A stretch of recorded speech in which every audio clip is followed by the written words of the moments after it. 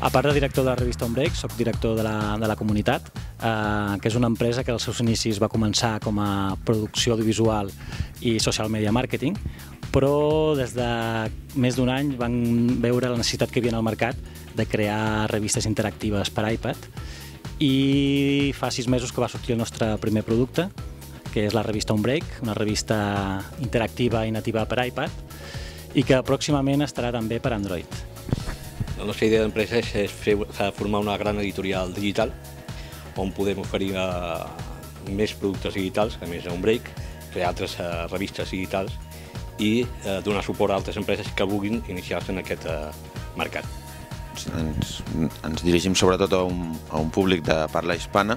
Eh, el nostre target bé, són joves, bueno, és bastant variada l'edat, són joves d'entre 20, 20 i pocs anys fins a 40 i llargs anys, és una cosa molt variada, però bé, bàsicament ens, ens adrecem a qualsevol persona que tingui tablet, eh, bé sigui iPad, bé sigui Android o qualsevol tipus de dispositiu mòbil. Quasi totes les revistes eh, són simples PDFs,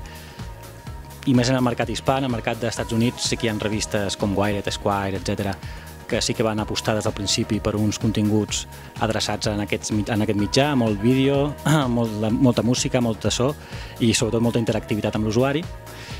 Uh, vam pensar que, que era una revista que podia tenir molt, molta tirada perquè parlem de temes molt globals, per exemple, no parlem d'economia, de, ni, ni de política, ni del cor, ni de religió, uh, és a dir, parlem de temes importants però que potser a la televisió no, no fan tant cas, com pot ser la tecnologia, aplicacions mòbils, videojocs, sexe, història, art contemporani, etc. Vam veure aquí la necessitat de, de començar a crear un producte, eh, com, com deia Ben José, pues, que ha de ser interactiu però molt de, bon de contingut perquè és un públic molt exigent que requereix una mínima qualitat i sobretot Mm, vol disfrutar de, de les noves tecnologies i de la interactivitat, perquè per més aplicatiu mòbil que sigui un iPad, busquen una experiència d'usuari doncs, completament eh, nova, però en tot moment escull eh, què vol veure i on ho vol veure. Estem treballant una nova, una nova eh, forma de programar amb els, eh, les revistes, per poder oferir, a més a més de revista digital, altres interactivitats, com poden fer videojocs, anuncis a publicitat, qualsevol interactivitat d'aquesta revista i que no estiguis únicament lligat amb un programari que ens han donat per, fer, per poder fer aquest producte. Mm, ens considerem més editors que desenvolupadors, però al final és una barreja de les dues coses. La diferenciació que, que trobem és eh, primer de, de producte, eh, un break com a tal no el trobes ni tampoc en el, en el quios tradicional. O sigui, eh, nosaltres sempre diem que és com, com un programa de televisió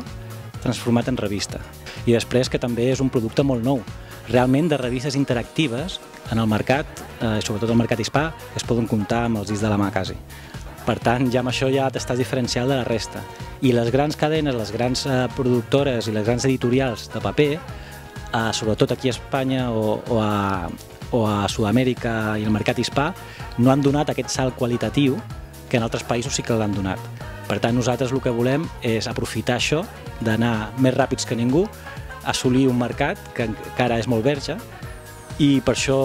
tenim la sort d'haver captat 50.000 eh, lectors en qüestió de sis mesos.